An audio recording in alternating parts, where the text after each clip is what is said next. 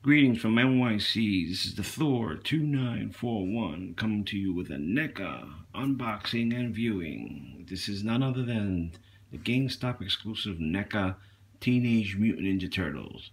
Now this is the 90s version, folks. Okay, and let's go by the lineup. Murderers Row for all you Yankee fans.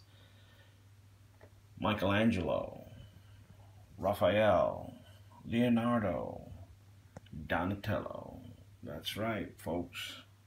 Look at that. I put the boxes in the back. A lot of you guys have already seen the boxes. This is uh Michelangelo's box. Sorry for the poor lighting. I'm working on a display room. Look at that. Great boxing, man. I was gonna get the um San Diego Comic Con version, but when I heard these were coming out, I wanted to wait to see how they looked, the packaging, see if anything was really missing, if it was worth spending that much money, because I missed out on the San Diego Comic Con versions. Uh, I tried getting in there, and it just kept booting me out, and by the time I got back in, it was just sold out. But that's neither here nor there. There you go, if you guys want to freeze and read it. You know, I don't really think you guys need the UPC code. Because uh, uh, these guys are on, on sale in um, online, but they will be in stores. NECA's going to put out a whole bunch of them. I emailed them when I missed the first pre-order, and that's what they told me, and they held to their word. Because not even uh, a couple of days later, they were taking orders online again. And thanks to, um, I forget the gentleman who posted it. Oh, crap. Sorry about that, folks. Just ignore that phone. And, uh, yeah, some guy in um, collectors. Uh, I forget the name of the name. It's, a, it's a fairly new group on YouTube, um, rather Facebook, that said that they were posting these guys for sale again, and I was able to uh, get in there. So shout out, good looking out to the fit community for giving me a heads up. And I know some guys ordered them and they got them smashed. Compliments of UPS, wet boxes, I heard some pretty horror stories. I was very happy to find out that um, I got these guys in very good shape. Although Raphael came by himself. For whatever reason, I was trying to order them as a group. It wouldn't let me, and I had to order them individually. But I ordered these three together, and then this one came separate, which is weird, because I ordered it all in one shot, if that makes any sense. Um, this guy came very well packaged with bubble wrap and all that stuff. These guys just came in the box loose. So GameStop, come on. You guys make a lot of money. Protect the uh, us collectors and your customers' purchases online. That's uncalled for. That's why a lot of people got their things smashed up and whatnot. And believe me, I used to work in UPS, loading the trucks, and I know how these guys can tend to like give a crap. But let's go down the road real quick. Enough my rant. Here he is. Michelangelo. That 90s turtle version, man. Look at that. Awesome. He comes with two nunchucks. The difference between uh, these two, um, the San Diego Comic Con and the GameStop exclusive, with this set is pretty much nothing. They're all the same, with the exception, sorry about that, of Donatello the same. From what I'm hearing, the stick is a little lighter or darker, but not much of a difference. And the big difference really is this. See those straps? He's supposed to have those straps on his shell and his harness. The San Diego Comic Con doesn't come with that. This one does. And from what I'm hearing, a lot of people want that. And I'm happy to be able to get him like this. Which I don't think it would have bothered me whether he had it or not, but I got him. And then we got Raphael here. My second favorite turtle. Look at that. Sorry about the poor lighting. Working on it, folks.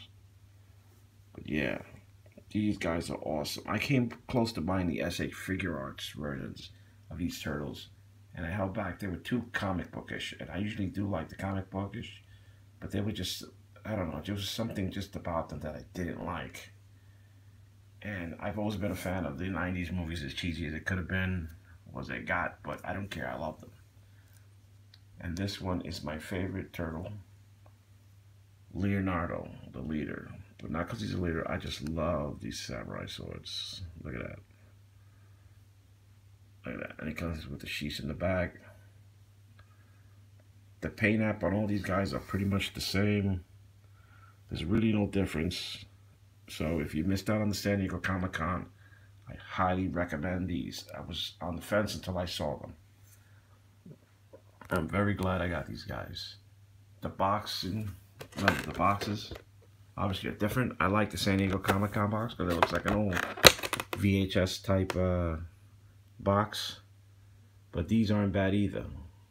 These look really nice actually. I almost was toying not opening them up. But I gotta let I gotta let my toys breathe.